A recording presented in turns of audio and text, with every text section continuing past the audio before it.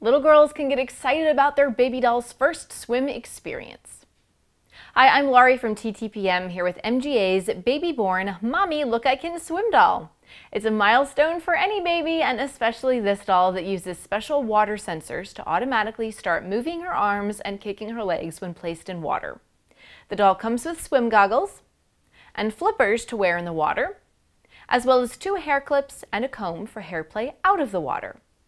She wears a striped swimsuit with a glittery flamingo on it.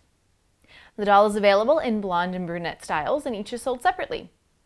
The doll requires three AAA batteries which are not included. This doll will make a fun pool time or bath time companion for kids ages 3 and up. Kids will think it's pretty cool that the doll can move around in the water on its own, and if they also like to swim, they'll have fun pretending to give the doll swim lessons as they swim and splash around with their baby doll. For where to buy and current prices, visit TTPM and subscribe to our YouTube channels for more reviews every day.